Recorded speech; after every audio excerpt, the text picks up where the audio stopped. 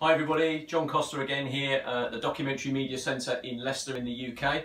Um, hope you're all having a good week. It should be Friday that you're looking at this now. This is our third and final film for March Media Madness, getting you ready for your video blog and your submission to the Sustainable Development Goal Film Festival. Hope everything, everybody's getting on okay.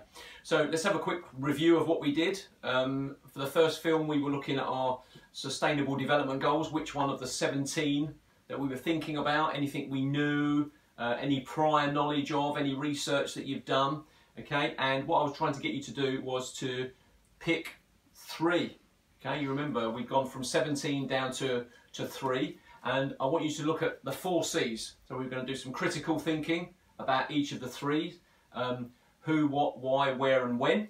Um, then a little bit about creativity. What could you do? What did you have around you that you could use? Um, Communication, what was the best way to communicate the message that you wanted to get across about that sustainable development goal? Remember we were looking at magazines, filming over people's shoulders when they were looking at uh, YouTube channels or looking on their laptop.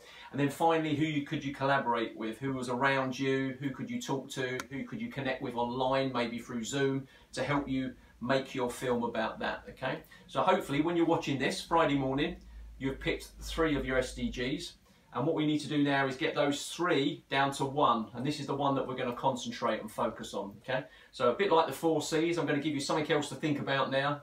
The final, the final run through, if you like. Yeah. And this is SPEC and MIT. Okay. So SPEC is skills, plan, equipment, and the question. And MIT stands for most important thing. So let's run through those. So when you decide which one of those three you're going to go with, which gives you the opportunity to really demonstrate the skills that you've got or you've got the skill to do.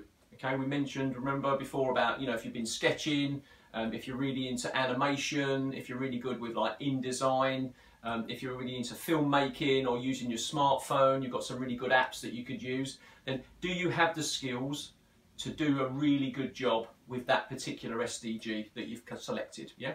Then secondly, the plan does it give you an opportunity with that SDG to come up with a really simple, effective plan, one that's got a beginning and a middle and an end? Four or five minutes is not a long time really um, to get across what you want to uh, say to people about why you've picked that SDG, why it's important to you. Okay, so really having a very simple plan, plan out each of the stages, maybe even doing a bit of storyboarding as well, what you're going to capture with all of your scenes.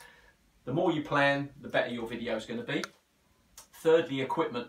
Have you got the equipment that you need in order to do that? Now, if you've got a smartphone and access to a laptop, which hopefully all of you have, I'd say you've got the ability to be able to make yourself a really simple and effective film. This is where Professor Steve can give you uh, access to the YouTube channel to look at some of the other films that were made, not only by your colleagues at AUPP, but also uh, from the university in Indonesia and also the university in Thailand. Okay, so have a look at what other people have done, get some inspiration. Remember, you're looking at what other people do to kind of inform your own decision making.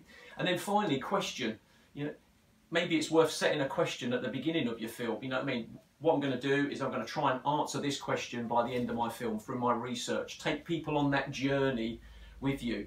Maybe make yourself part of the story. You might make that a little bit better uh, you might find it's much more interesting to do it that way. So maybe pose a question at the beginning and then go on that journey for four or five minutes. Can you answer it at the end? And the final thing, what is the most important thing? The most important thing, yeah, is that you enjoy it. Yeah, it should be fun. Um, then you'll find it's not so much of a challenge. Uh, you'll get more out of it.